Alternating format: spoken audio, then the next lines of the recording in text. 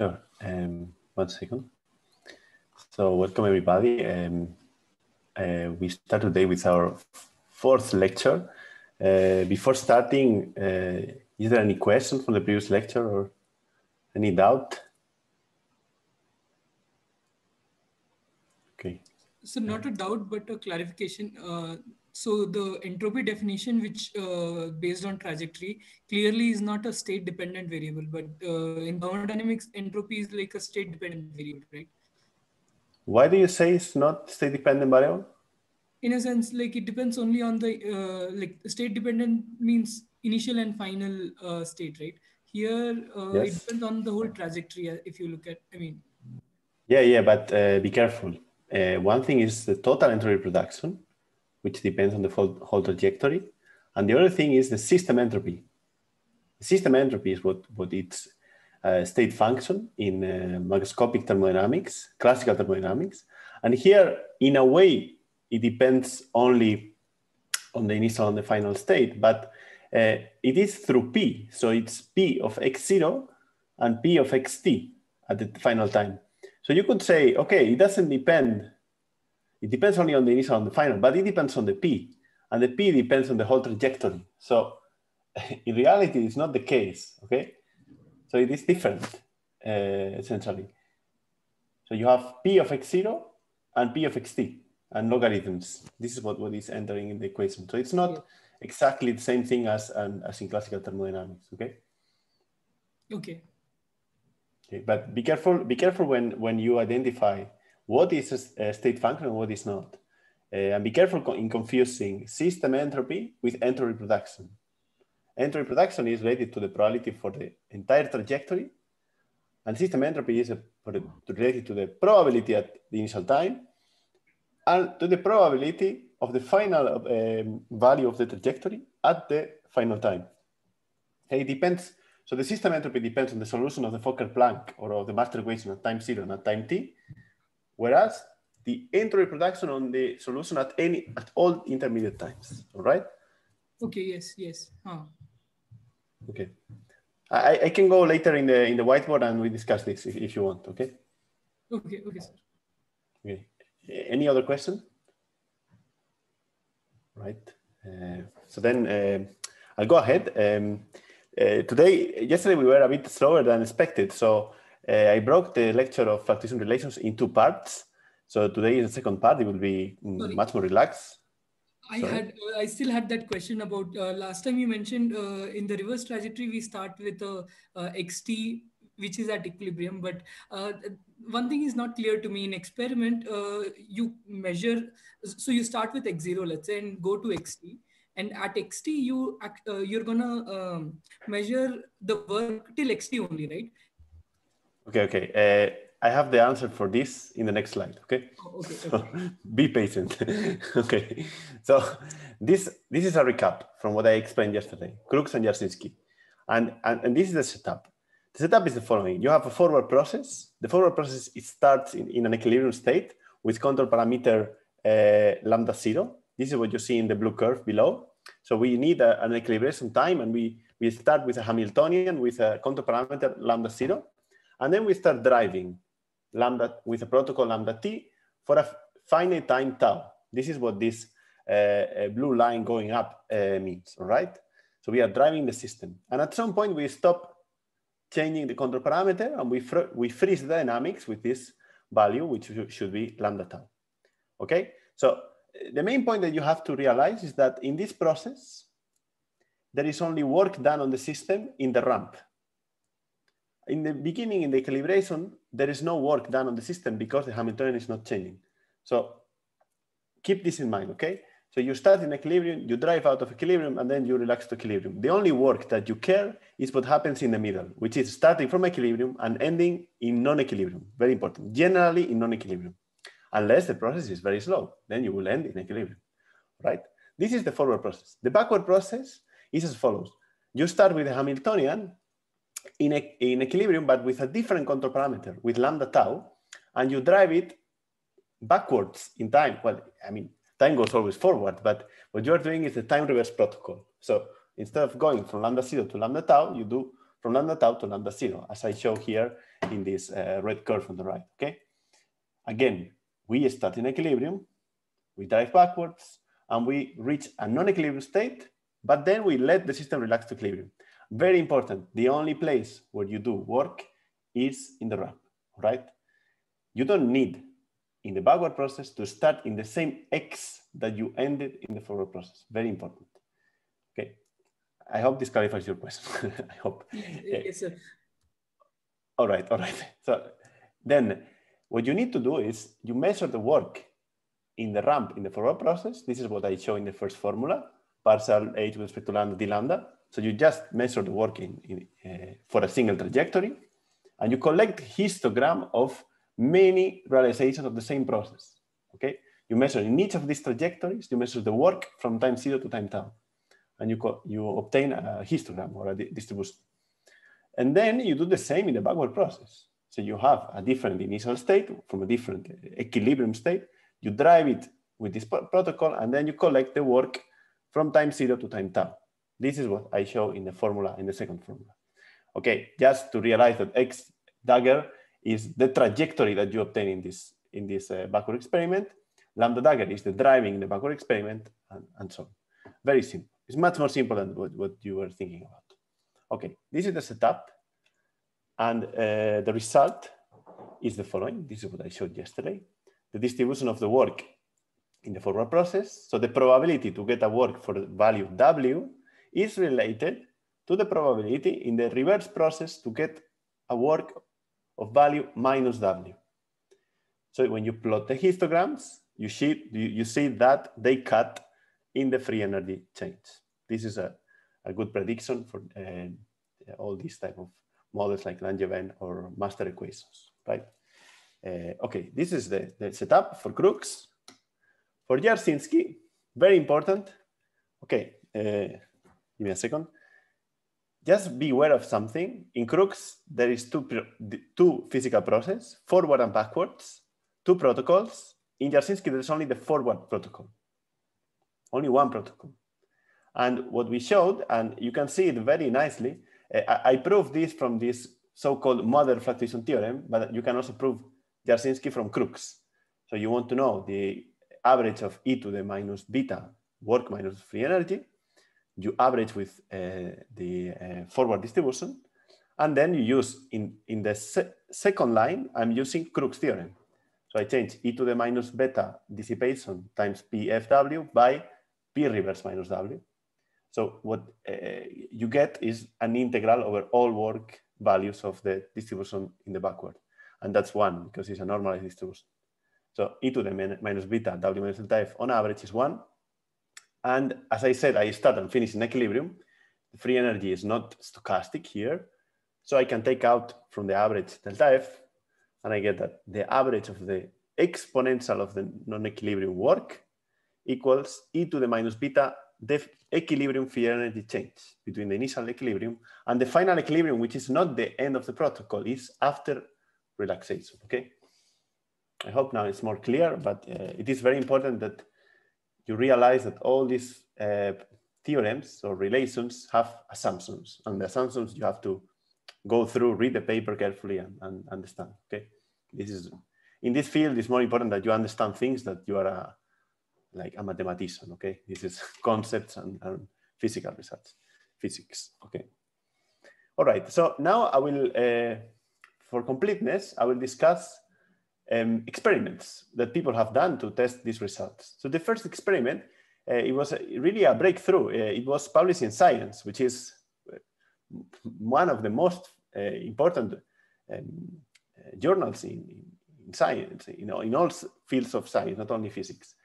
Uh, in this paper, they, they did the following experiment. So you have on the left a particle in an optical trap, a second particle connected to a pipette, and what they do is they link DNA between these particles and they pull the DNA.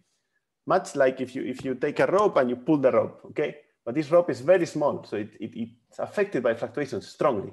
So if you pull like this, you won't get the same uh, rope in each of the pulling, but it will be different because of the fluctuations. This is what you see in, the, in panel B on the top. You see that at, at some fast pulling speeds, for example, in the green curves, uh, the, the trajectories that follow the, the force. So here they can measure the force done in, a, in the colloid uh, because the optical trap can be used to sense the force. The force is different in each realization of the same process. So this is a manifestation of fluctuations. And uh, you can use these trajectories to measure the work done in each of the trajectories. And what they get uh, is what you see in the panel D on the right. These are distributions of, of work or of the dissipation for different pulling speeds. And now uh, you can use the formula that I show in the middle, which is just Jarzynski equality, but uh, solving for delta F. And you just do e to the minus beta W. Uh, you, you collect values of W, and you do the average not of W, but of e to the minus beta W. You do the average of that quantity, you take the log, you multiply by uh, KBT, and you get the free energy. Uh, this is what is shown in the last figure. It's not, okay, uh, back then uh, experiments were not as precise as now. Uh, so there is an error bar of 0.5 kBTs, which they can argue. And you, they see that the difference between the, the, theoretical value of the free energy and or, or what you get from molecular dynamics and what you do from non-equilibrium pulling is very small. So the theorem was tested with great accuracy in this science paper. Okay, this is for Jarzynski equality. And Jarzynski equality has, a, has an issue, which is it is dominated by, so this, this average of exponential is dominated by very negative values of the, of the work. So you need to find very rare events to, in order to have a precise measurement of, of the work. So this is, um, let's say, uh, a negative, uh, well, not negative, but it's a shortcoming of the of the this equality that you really need to find rare events in order to have a very precise uh, measurement of free energy. All right, that's for uh, Jarzynski. And for Crooks theorem, there was a very an analogous experiment uh, published in Nature, so also a very uh, big journal here, uh, in which uh, what they did was a very similar experiment, but with an RNA. Well, I put here DNA. I think they did with DNA and with RNA hairpins, in which, okay, you can see top left figure, this is the hairpin. So it's like a, a rope, which is making like, like a loop. And they pull from uh, the two extremes and they open it and close it. So you can see curves of um, opening and closing this hairpin in different colors. So you see the orange going up and the blue going down. So you, what you see, and it's very important, is that there is a hysteresis curve. So it's not the same when, when you do like this and when you go back. And this is a signature of non-equilibrium in a way. So what you can do with this data is measure the work in unfolding and the work in refolding. And these are like, they obey uh, the assumptions of, of Crooks theorem. And you can collect the work in uh, unfolding and refolding and plot the, the, histograms. So what you see on the right, uh, you can, for example, look at the, uh, at the red uh, histograms you see, first of all, the data is not, these are not perfect Gaussian distributions because it is very difficult to, to collect this data. So maybe they have 20 runs or 50 runs. So you have to come back to real life. This is not a simulation. This is not an equation in the blackboard. This is very difficult to get. Maybe it takes years to, to, to make this experiment. Uh, and what you see is there is a red histogram on the right. This is the distribution of the work in unfolding and a red histogram on the left with dashed lines, which is the histogram Crooks theorem. Okay, no, it's not Crooks theorem, is probability for minus the work in the reverse process. And you see they cut more or less in 110 kBTs. Then this is done at a given speed. Uh, you see, or a given pulling speed, which is 20 piconewton second. You can do this slower. And this is what is shown in the, in the green curve. When you do it slower, the histograms change because you're dissipating a uh, less, so the average work is getting closer to the free energy, but still they cut in the same place, the histograms. They cut in 110 kBTs. And when you do it even slower, the histograms get narrower, but they also cut in 100 K, 110 kBTs. So this is a, a, a, manifestation of Crooks theorem in a way. They are cutting same um, same system, but at different pulling speeds, they cut histograms of the work cut in the same place, which is the free energy change. Uh, and moreover, they can compare this cutting point. Uh, well, they put it here in kilocalories mole. Uh, you can convert KBTs to kilocalories mole very easily. And they can compare with what you get with molecular dynamics. Molecular dynamics is, a, you do the simulation with all the atoms and molecules of the, of the hairpin. So it's something very, very expensive and precise. And they see that the free energy that you get from, from Crooks theorem is within experimental errors the same as what you get with molecular dynamics. So it's really, really good, uh, this theorem. It's good because you don't need to pull infinitely slowly. You can do this quite fast, which is very practical. And finally, on the bottom right, what you get is the, the logarithm of the ratio between the histogram in, in, forward and the histogram in backward, and they are linear with W, as I showed you uh, yesterday in the theory. So this is what you, something you predict in the theory and something you can see very clear in a very complex experiment because this is not a just a Langevin equation. It's something much more complicated. It's a biopolymer uh, in water with uh, excluded volume effects, etc. So it's something really nice. That's why this was this paper was in Nature actually.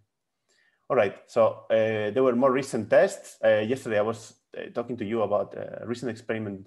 Well, so not so recent, but we did something like this with optical tweezers. Uh, it is not a, such a now many labs are doing these experiments. So what we do is we have a colloid in, in a trap and then we move it, we move the center of the trap to the right, measure the work, let it relax, move it to the left, measure the work, let it relax, and so on, like this, okay? You can do this at different temperatures and collect the histograms of the work. This is what you see bottom right. Uh, histograms of the work change when you do uh, the process at different speeds or at different temperatures. And on the left, I showed um, the ratio between the symmetry function. So the ratio between this log of PFW divided by P reverse minus W. And you see the slope is changing because we could do the, the experiment at different temperatures. So the temperature has an effect on changing the, um, you see the, the slope of, the, of this curve, right? So with this, uh, I finish from here and I'll, uh, I'll now share my whiteboard uh, to continue a little bit with the theory. Uh, sorry, do you see my whiteboard now? Yes. Yes. Yes. Yes. Okay. Thank you. Uh, thank you. Okay. So uh, the first thing I'll do, and it's something uh, really nice, it's uh, to explore the consequences of Jarzynski equality. So yesterday I explained that the Jarzynski equality says the following: theta w equals uh, e to the minus beta delta f. Okay. In other words, you can also, okay, give me a second because this is not working very well. You can also say that uh, exponential of minus beta w minus delta f equals to one, right? Very nice. And now uh, the first consequence that, that comes out, um, it's very simple and it's, it's the second law. And you can see it uh, from the following. So first of all, I, let me discuss that this is a recap of, of mathematics, which is uh, Jensen's, um, Jensen's inequality. Jensen's inequality, which says the following. So if you if you have a convex function, as for example, the exponential function is a convex function like this, let me call it fc of x, and this is x. Uh, it is very easy to show that um, the value, these are two points, and you take the average of these two points, which is here. The value of the, of the convex function at the average, which is something like this, is smaller or equal than the average of the um, between this point and this point, which is the average of fc evaluated at x, okay? This is Jensen's inequality. So this is true for any convex function, and in particular, we can take here e to the x is smaller or equal than average of e to the x, okay? Very simple, all right. So now we can apply this inequality to Jarzynski's equality. So what we say is that e to the x will be e to the minus beta, w minus delta f will be one, Okay, this is e to the minus beta W minus delta F, right? And this is greater or equal than E to the minus beta W minus delta F. So the average dissipation comes out here, right? So from this, well, we say e to the minus beta, this is greater, smaller or equal than one. So we are just saying, okay, this is the function e to the minus x. Okay, this is the function e to the minus x versus x.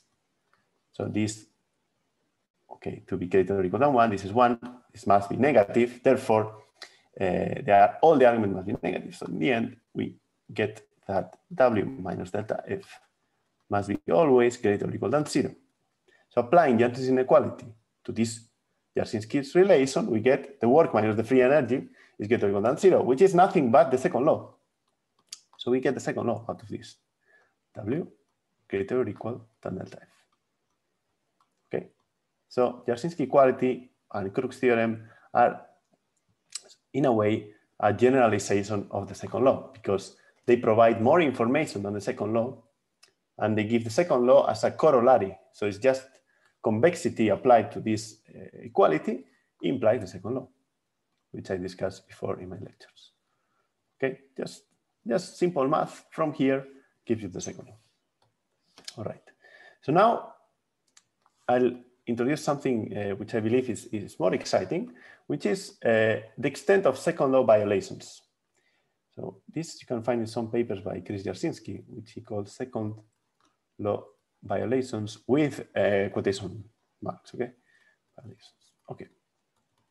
So uh, let's uh, recap a little bit and discuss the fact that the distribution of the work when you do a process infinitely slowly has this type of shape. So when the process is done very slowly, it's a Gaussian distribution peaked, highly peaked at the free energy. However, when you do uh, a process faster, you are out of equilibrium. You have here delta F, and typically you will have a distribution that will do like this. Okay, this will be W, uh, and then we will have this will be P uh, of W. Okay, sometimes I was putting PFW, but now there is no reverse process. I, I will just discuss one process. This will be the average work, which will be, so the second law means that the average of this distribution is greater than, than the free energy change. That's the, that's the statement of the second law. And now uh, what is very important is that uh, this region that I put, okay, this region here, it's what it's often called uh, these second law violations in quotation marks. So these are events in which the work done on the system is below the free energy change in all this tail. Okay, now this can happen. You can do an experiment and, and find this. So the question that, uh, okay, so first of all, let me just uh, formalize this. Close, this is close to equilibrium. P, sorry, I don't need here at the F.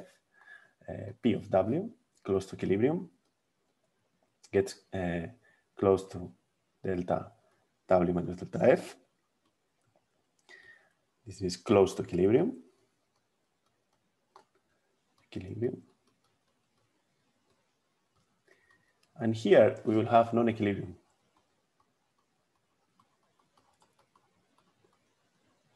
Here the distribution won't be exactly delta uh, W minus delta F.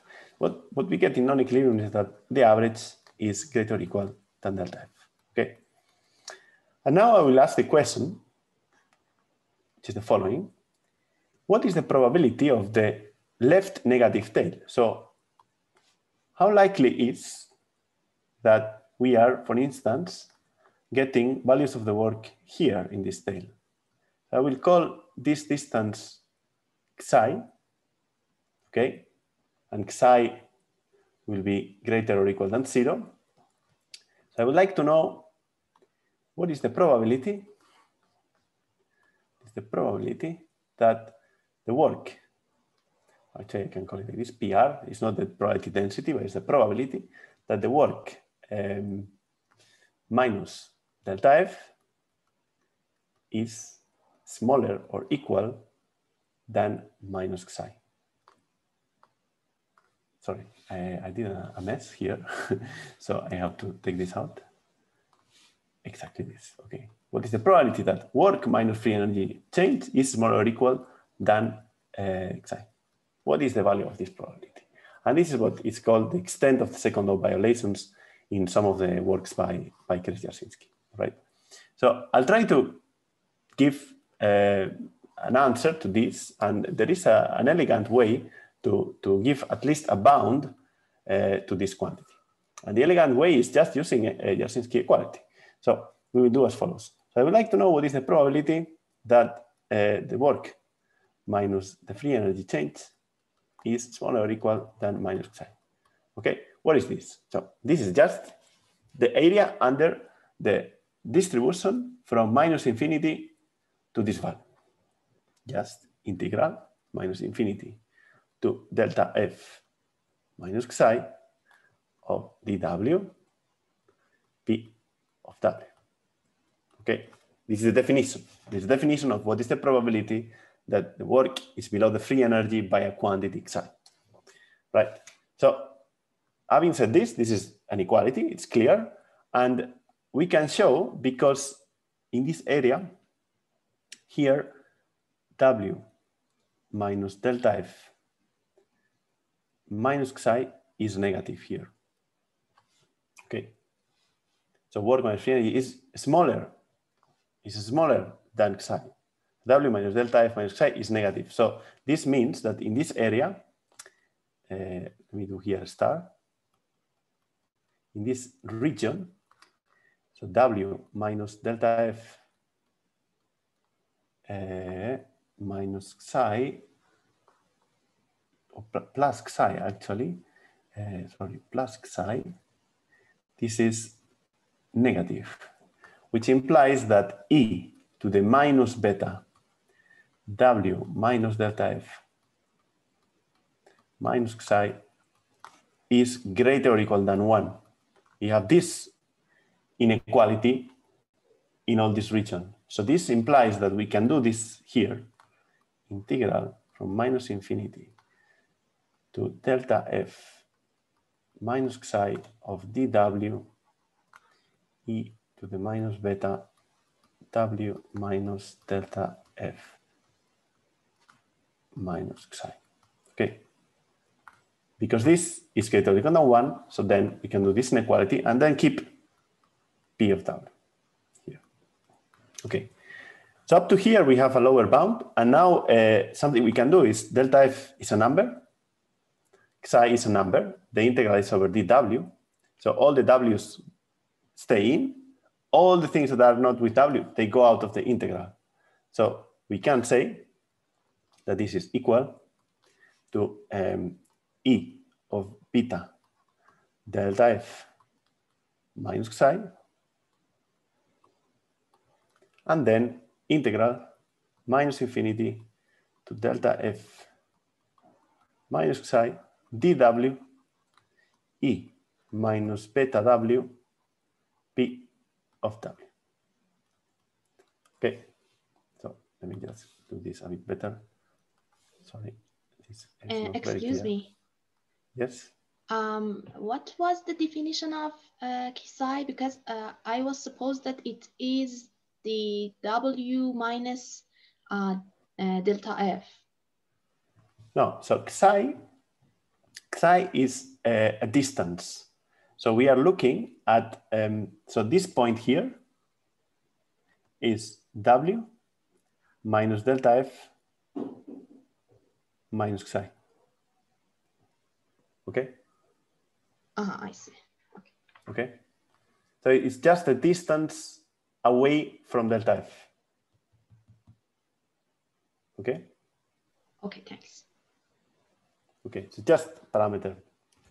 All right, so uh, we're now um, in this part, which is the integral from minus infinity to delta F minus xi of this. And now we recognize that this is a positive number. This is always uh, greater or equal than zero. And uh, we can then say that all this integral can be bounded by beta delta f minus xi is um, is smaller or equal than making the integral from minus infinity to plus infinity of dw e minus beta w p of w. Okay, because this is a distribution, this is always positive. This is always positive. So this integral is larger than this integral. I'm just doing an inequality between this integral and this integral. Okay. So now we are here. Uh, what is this? This is e to the minus beta w p w, and we can apply Crooks theorem. Uh, I didn't call this, okay, I can call this PF. The beginning I didn't put it, but this is, let me call it forward process. So this one is um, nothing but uh, equal to E beta delta F minus psi, and then integral, uh, well, actually, I don't need to, to write it like this. So it's, uh, it's very, it's very simple that to, to show that this uh, last thing that I obtain is e to the minus beta w um, in the forward process. Okay, I don't even need to, to do, sorry, I, I was a bit uh, exaggerated with the, with the notation. I don't need this. Okay, this is just e to the minus beta w, and e to the minus beta w, following Jarzynski equality, is e to the beta minus beta delta f. So e beta delta f uh, minus psi E minus beta delta F. This is the Jarzynski equality. So this goes with this, and we get E minus beta psi. And this is a very nice result. Uh, you can see, because we are saying the probability of second law violations, probability to get the work minus free energy below a given amount is, you see, smaller or equal smaller or equal than e to the minus beta xi. Okay. So in other words, let me just um, recapitulate. Probability that work minus the free energy is smaller or equal than minus psi is smaller or equal than E minus beta psi. So this means, uh, well, this means briefly that the left tail of the um, distribution of work is more than exponentially suppressed in the thermodynamically forbidden region, okay? So values of work that are forbidden classically are very unlikely and are forbidden and suppressed more than exponentially. This is what this, this um, uh, result means. So recapitulate, you have the distribution. This is the average. This is the free energy. So the probability to be uh, below know, all this area, and this, is this distance is xi, is smaller or equal than E minus beta xi. Right? I hope this is uh, more or less clear. Uh, okay, if not, please ask me any question. Uh, and, and, and this is um, one of the key consequences of, of the theorem. And now uh, the rest of the lecture, I will um, try to generalize a bit what I explained by discussing what is called detailed uh, and integral fluctuation relations for entropy production. So the results I just showed uh, can be also generalized slightly for, to entropy production, which is S tot. So as you see, in isothermal systems, the entropy production is work minus free energy. So if I get a theorem for the entropy production and I take the particular case of an isothermal system, I will get a fluctuation theorem for the work and the free energy. They are detailed and integral fluctuation relations for entropy production. Okay, so again, uh, this is uh, explained very well in the paper of Udo Seifert. Uh, the same I uh, discussed the other day is PRL 2005. 2005. Um, okay, and the setup is uh, what I also explained uh, in my second lecture. The setup is a non-equilibrium uh, driven Markovian process in which there are, you obtain trajectories, which for example is X, which contains uh, X0. Sorry, I think you, you left your microphone on, uh, Masha Mofidi. So there's some noise happening there. XT, uh, and the time reverse trajectory will be um, x plus 0 to x plus t, which is xt to x0, is the time reversed. And we consider a non-equilibrium driven Markovian process. Sorry. Um, all right. So again, uh, non-equilibrium driven Markovian process. Process which includes um, those that are described by Fokker-Planck equations or those described by master equations. Okay, this is a broad class of systems. So uh, what do you, what can we get here is that if we consider mm, a specific choice of, of initial and final states, we can use again the so-called uh, model fluctuation theorem, this one, and uh, show that instead of putting now the dissipation, we can put the entropy production.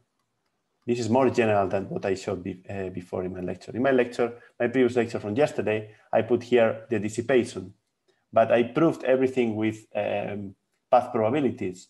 So it is much easier and, and, much more natural to consider the entropy production, which remember is nothing but um, entropy production up to time t or associated to a trajectory x tilde, x bar is kb logarithm of the probability for the trajectory divided by the probability in the time reverse process to see the corresponding time reverse trajectory, okay?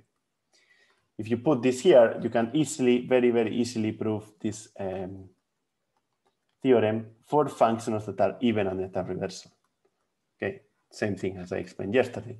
And now if you take, instead of omega, yesterday I took as omega, one of the cases was a delta of W functional equal to the W. So uh, the delta that the work equals to small w. Now you can take something similar, but use uh, omega to be, for example, delta of the total entropy production associated to a trajectory to be equal to S. And uh, delta plus the analogous, as I explained yesterday. If you plug in this here, what you get is a very similar um, theorem as yesterday, but like this. The probability in the forward process that the entropy production uh, up to time t equals to s times e to the minus s divided by kb. Be careful, now he, s is a value, eh? is, is a number. Here is stochastic, well, here is a function of a trajectory. Here is a number. A dummy variable, you could say, is equal to the probability in the reverse for the entropy production to be equal to minus s. So same steps as yesterday. This gives the so-called uh, detailed fluctuation theorem for entropy production, probability in the forward, s dot t equals to s divided by the density in the backward for entropy production to be equal to minus s equals es divided by kb. This is the so-called detailed fluctuation theorem. Okay. This is uh, very, very insightful. Sorry for this. Okay. This is the detailed fluctuation theorem for entropy production. Of course, uh, you can consider process with driving like the ones I was uh, introducing yesterday and today, in which you have something like this in the forward and something like this in the backward. This will be driving, but you can also have processes that are out of equilibrium in which the driving is, is constant. So for example, okay, you can have, okay, uh, something like this. This is the forward and this is the backward. So forward and backward are the same process. One example is, for instance, if you think about um, a ring, you have a ring, you have a particle in a ring, and there is a, an homogeneous field velocity field pushing in this direction. Here, there is no driving. The, the, the, Hamiltonian is not changing in time. It is a fixed condition of non-equilibrium, and the particles, are, a single particle it has more tendency to move to the right than to the left. Sometimes it will jump backwards, but it will do like this and backwards and this, and then backwards and then backwards and this, okay? It will move more clockwise than counterclockwise. This is called non-equilibrium steady state, which often uh, people write it also like this, non-equilibrium steady state, okay? In this case, the forward and the backward process are the same. So you say lambda plus t equal lambda t. Okay, this is for general uh, driven. So driven, okay. And here I will do for non-equilibrium steady states. Uh, the, the, reverse process is equal to the forward process and equal to lambda. So it doesn't change in time, but you are out of equilibrium. In this case, uh, forward and reverse are the same process, and we write it just like this. P dot at time t equals to s divided by p dot t equals to minus s equals, there's the same p here, okay, very important, same process. Equal so to a question in the chat. Yes, please. Um, I, I cannot read the chat. You, could you read it because I can read it to you. Would you please explain please, again please. how can we determine that the backward trajectory is exactly the forward process happening in reverse? Consider the fact that the process is happening in non-equilibrium state. Yes, okay, be careful because in this question you are mixing two things, uh, trajectory and process. But um, okay, let, let me try to explain this um, maybe with an example which I'm trying to find in, in my slides. Uh, one second. Eh? I think in these slides I don't have it, but I think a good picture. One second. Eh?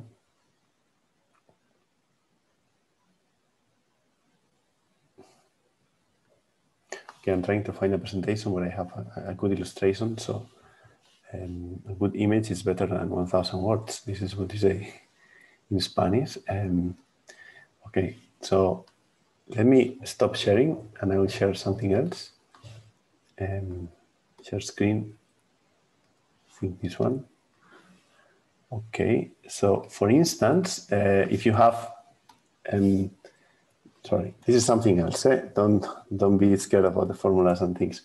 If you see the, the this figure, uh, this is like a roller coaster potential, no? So if you you could put a particle there and let it relax to the minimum and, and fluctuate there. But you can also put a torque around the, this ring. We don't see the picture. Sorry? We don't see the picture. Ah, sorry. Uh, all right, all right. Uh, you see it now? No, we see numerical tests, uh, Langevin dynamics, uh, and then uh, it's all blank. There's no picture. There's no. There's no picture. Maybe okay. if you don't, if you don't, yeah. if you just show the. Okay, I'll try to. Okay, give me a second. Um, without full screen. If you just share, show the PowerPoint um, uh, without the full screen, I think it's okay. Okay, okay, okay. Okay, you see it now, no? Yes. Okay, so this is a particle in a ring. And uh, if uh, on top of the, having the ring, one has a torque. So if the particle is here, it's feeling a potential, but also a torque. And this torque doesn't change in time. This creates a non-equilibrium steady state because the torque is pushing the particle moving clockwise all the time. Or you can also think about this particle in a ring. There is a torque all the time pushing the particle. So there is some, someone pushing the particle with a net velocity. And this is a non-equilibrium steady state because there is a current. You could have this process without the torque, and that would be an equilibrium uh, uh, motion, okay? No current, particle will move the same to the right and to the left. But if I have a torque, I have a current, and this is a non-equilibrium steady state. And here, there is no time-dependent change of a potential. It is fixed. There's a non-equilibrium condition and it's fixed. That's why the forward process and the backward process are the same, because it is not changing in time. Uh, okay, I have an, another something else I could show you. Um, Okay, I think I had an illustration in another talk.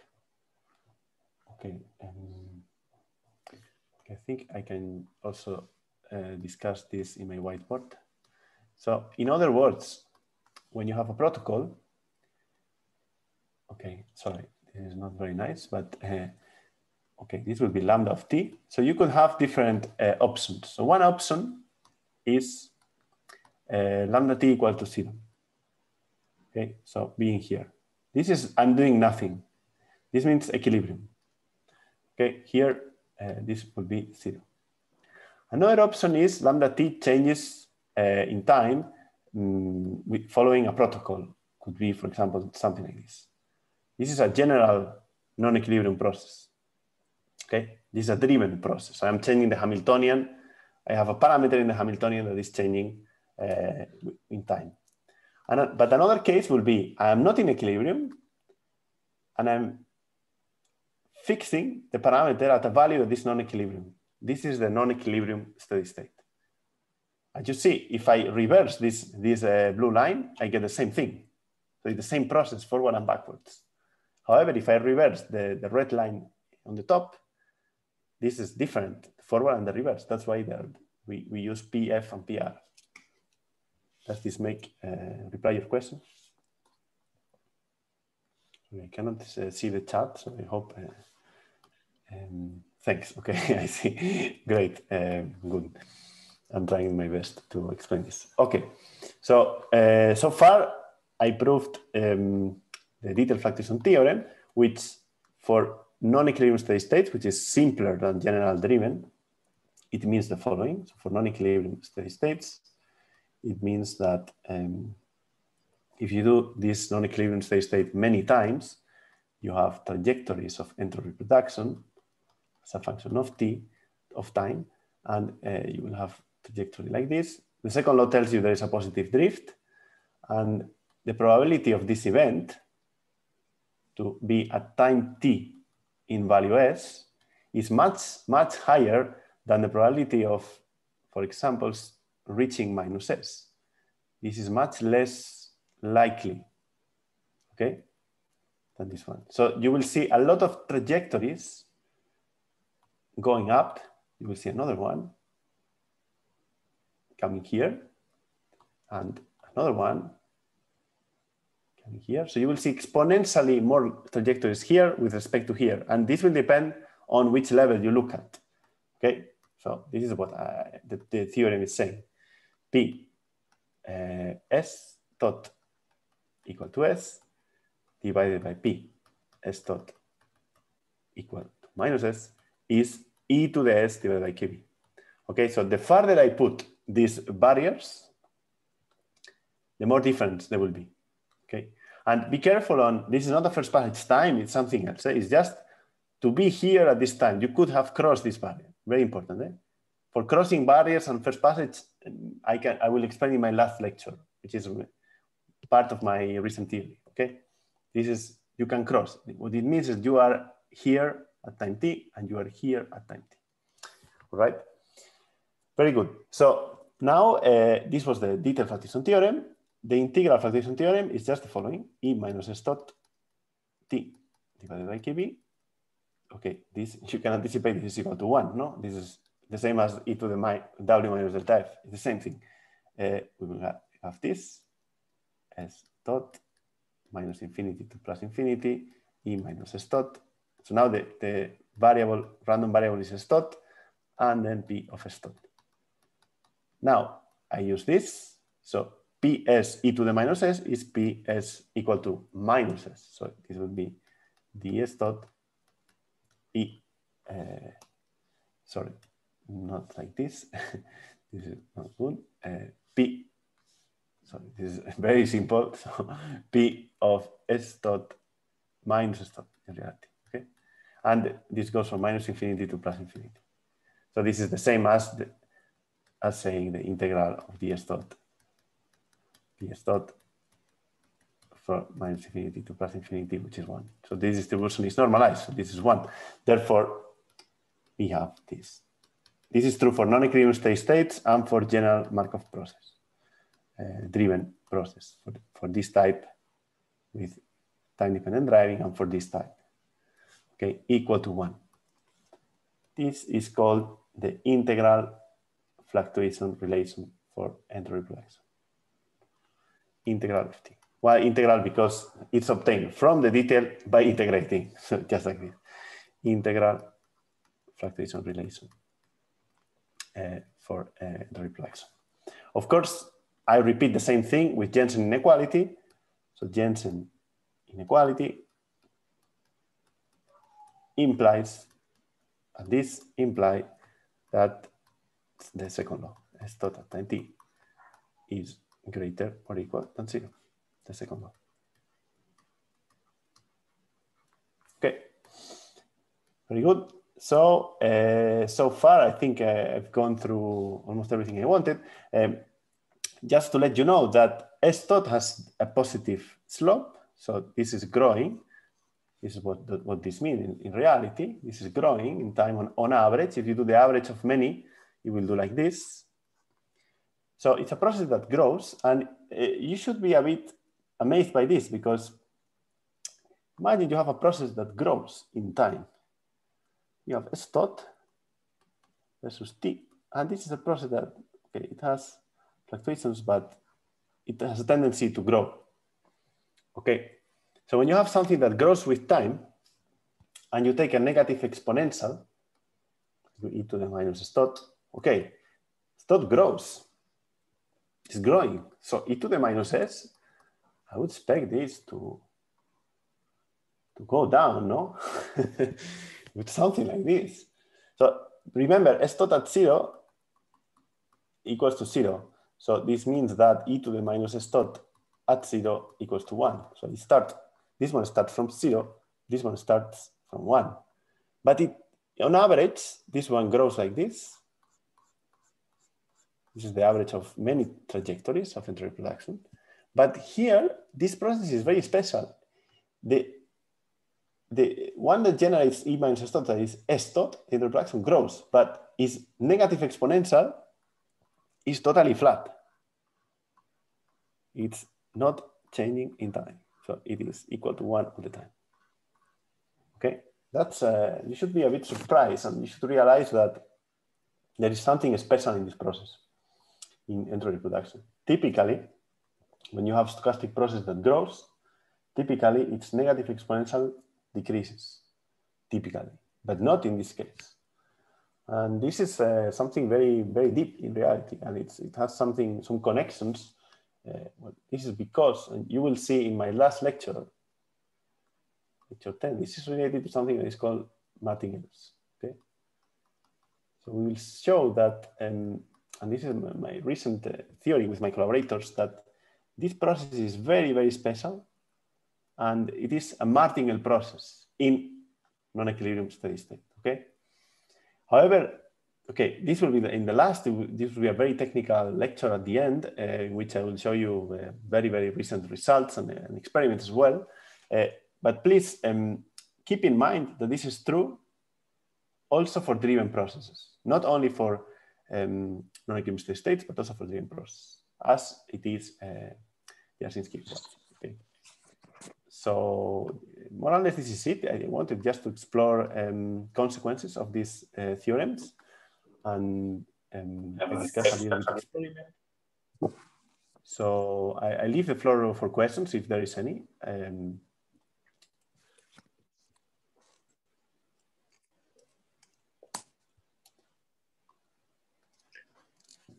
Hello, other questions? Sir, can you explain uh, why in the like beginning uh, for the experimental uh, uh proof of Jarzynski relation, you said the rare uh, like the rare uh, fluctuations are important. I didn't get that part. Well, because you need to do this, no? Okay, so you need to calculate something like this. well, actually, okay. So this is the integral tw e minus beta w p f of w. Okay. So somehow uh, you see this as an integral, but in reality, uh, you have to see that uh, you can do this from with histograms, for example, and will have a sum of uh, what is the probability to get a work of WWI. Uh, you are doing a binning and e to the minus beta WI. So the, the reality is the following, that when you make this sum, which values of the work will be dominant? It's also related to, somehow to, to large deviation. So when W is very negative, this exponential will be very, very large. You see? Yeah, yeah. Therefore, the negative values of work will be dominant in this in this average. But sir, probability distribution, it could be that itself could be exponentially decaying, right? I mean, uh... could be. It depends on the case. It depends on the, on the physical process. Yeah. It depends. Uh, there are many examples. Uh, I, I, can send you a reference if you want, where um, this um, this type of average, if you do it very naively, just um, with regular bins, um, uh, this can can be this average is highly biased as well. So even though uh, even if you have infinite samples, there will be a statistical bias in this in this average. So you have to be very careful on how you how you estimate this. Okay, and there has been a lot of uh, research on on estimating and using risk equality properly with uh, proper um, of the probability distribution and so on. I can send you some papers. It is not an open area of debate right now, but 10 years ago, there was a lot of people working on this. So uh, you have to be very careful. Also, on the following, uh, I, didn't, I told you that, okay, you have Crooks relation. So you have forward like this, PF, W, and then uh, the reverse. And I was saying, okay, very nice. So the reverse is cutting here. Great, no? But uh, just realize something that when you do this type of experiments, you are saying that, okay, here is W and here is delta F, okay? So this will work as long as these two are close enough. If you do the process infinitely fast, well, you will have one histogram here, one histogram here. This will be the average of work. And here will be delta F. So what do you do here? I imagine you do an experiment and you have histograms like this. So this is a big problem. So this means that these theorems are useful, but uh, they have a limitation. They have a limitation. So when W is, if this is, for example, uh, 100 kBTs, and I, I suffered this problem myself in, in, in my research in, in many times. And this is um, 10 kBTs uh, you have a problem you will never see. In a short experiment, you will never see this. So you have to use um, some techniques to extrapolate these histograms and see where did we cut. And it's also a big problem. So you have to take into account these are universal relations, but they have a limitation for uh, applications. And, and, the limitation is that we cannot use this if we do the process infinitely fast. This uh, doesn't work. Plus, okay, the, you, you can create turbulence, the fluid, etc. So it's not it's not so easy. Okay, so close to equilibrium, this is easy to, to see, and out of equilibrium, but not so far. Okay. Okay, uh, just one last question uh, related to this. Uh, so, uh, uh negative entropy uh, paths, I mean trajectories, are very rare, right? So uh, is it okay to say that? It depends on the system. Depends on the system because. But, okay, total entropy negative is a rare. Okay, you're saying it still depends on. It's it's rare, but imagine I I give you a model that is, I don't know, three state model, for example, two and three, and now I tell you the rates are as follows. This rate uh, is um, two seconds minus one, and this is um, 1.5 seconds minus 1. Okay, this is also 2. This is 2. And these are 1.5, 1.5. Okay. What is a, a, trajectory of negative entropy? So a trajectory of positive entropy will be uh, going with the flow. So for example, going from 1 to 2, and, and like this and like this. This is a cycle, and this has a, an entropy uh, stot in this cycle, which is, okay, you have done a cycle, you return to one, so the system entropy is zero here. So the, sorry, the only uh, contribution, sorry, the only contribution that you have is three times the heat. So it will be three times logarithm of uh, forward rate divided by backward rate, two divided by 1.5. Okay, and this is positive, right? But now you can have a backward jump, a backward cycle, because there, this is two and this is 1.5. They are very close to each other. So you can have a trajectory going like this, yeah. right? So it's not that rare. It depends on the, on the rates strongly. So if you are close to equilibrium, you have much more likelihood to see negative entropy events, which will be a cycle against the, the flow somehow. And in that case, you will have a S tot will be uh, minus 3 log of 2 divided by 1.5 in this cycle, okay? And the, the probability of this, and, and, and, this one is very easy to calculate. It's just, um, you know, it's a Markov chain. So it's the product of yeah. the transition rates. All right, so, so it's not that difficult. What, what counts is how asymmetric are the rates, how different are the rates in one direction and in the other. Yeah, uh, yeah, I understand. Uh, actually, the, my question was uh, how, I mean, somehow these trajectories are related to uh, works which are really rare in the sense uh, when you calculate work from the same trajectory uh, mm -hmm. and entropy from that same trajectory. rare entropy trajectories are somehow related to rare work i mean uh, trajectories is, is well uh, you, you you don't need to think so much. So so think about this this uh, this example. So negative entropy is trajectories that are uncommon and positive entropy is trajectories that are common. So when you see a trajectory actually this is given in in the formula. So the formula says entropy, the entropy production of a trajectory is kb, the logarithm for the probability of the trajectory divided by the probability of the time reversal. So if you see a typical trajectory, this will be positive because the, it's, it's, uh, the probability of the atypical is smaller than of the typical.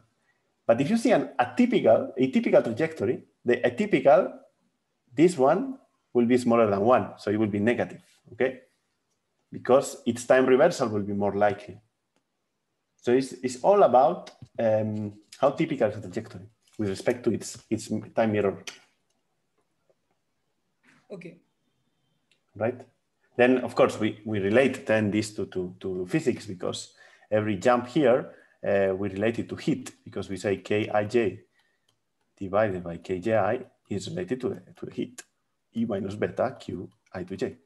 Yeah. So this is the way we, we, we connect to physics in a way. Yeah, so we can connect it to entropy. I I, I get that, but we uh, like it's not uh, like it, it's not a logical statement to say that uh, high work trajectories will also be. Uh, I mean, they will be rare, but not because of this reason. No, no, they will be also from this reason, also as well, because uh, with the work, uh, what I showed you the other day is that the work for a trajectory minus the free energy change is divided by the temperature is the same as S tot. Okay. Huh. In an isothermal system, this is equal to this. So it, there is a relation between work and irreversibility directly. So there is as well. So in a there sense, is. these two, I mean, uh, trajectories for rare trajectories, work and the entropy are like rare events, right? In the sense, if the, yes. yeah, yeah, okay. But, but, but a rare event in the dynamics, it's also a rare event in the work, okay? So if it's rare in, in, uh, in the probability, it implies that the, you get a, a, rare event in the work, which is negative work. So, so if a trajectory is very rare, this is very negative, and the work is very negative, very much, very small with respect to, to the F. That's the point. Yeah you, you can work with simple examples. For example, the other day I was talking with about the optical tweezer that you drag at fixed velocity. You work, you you uh, you write the equation for the work, and you will see rare rare events as is when the particle uh, it's advancing. So instead of lagging behind when the particle is here, are rare events. And these are events where the work is negative. You're extracting work. So you can really see the best way you see is with examples. The best. Yeah. Right. Try, try to work this example and you will see. Okay. So any other question?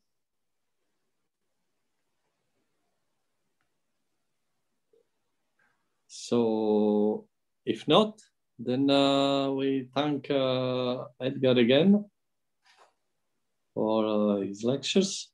And uh, we meet uh, next week. Have a nice weekend. Have a nice weekend and see you on Monday. I will discuss engines on Monday. So stop share.